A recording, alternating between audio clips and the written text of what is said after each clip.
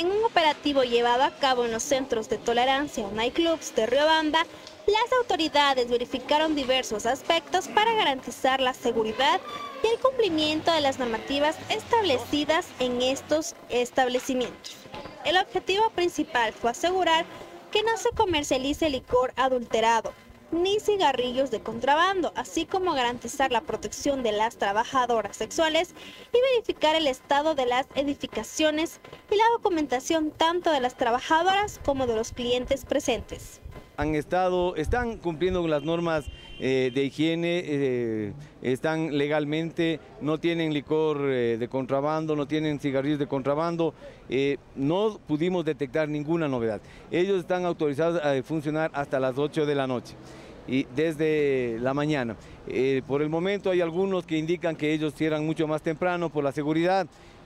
simplemente eso les da tranquilidad a ellos ver que la autoridad competente eh, municipio, intendencia y Policía Nacional estamos haciendo estos controles porque garantizan una buena atención a los ciudadanos que deseen recibir estos servicios. El operativo realizado por las autoridades competentes se desarrolló sin detectar ninguna anomalía significativa en estos establecimientos inspeccionados. Los dueños de los centros presentaron toda la documentación requerida en regla y las actividades que se estaban llevando a cabo de manera normal.